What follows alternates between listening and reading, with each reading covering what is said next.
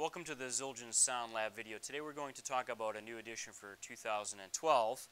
It's the 21-inch K-Custom Dark Complex Ride. And this is a very, very unique cymbal. We're going with a medium thin blank that is heavily hammered on the top side and on the bottom. We also have a bell in it that's very similar to what is used in the 22-inch K Constantinople bounce ride. But as you can see here, we've hammered the cup. This cymbal has some great stick definition, but it also has some really dark and nasty crash sounds. We've also developed a very unique uh, finishing process that we're calling a satin finish. So the only way that you're really going to experience this is either by going on Zildjian.com or I really welcome you to go down to your local Zildjian dealer and play this because this is a very unique cymbal.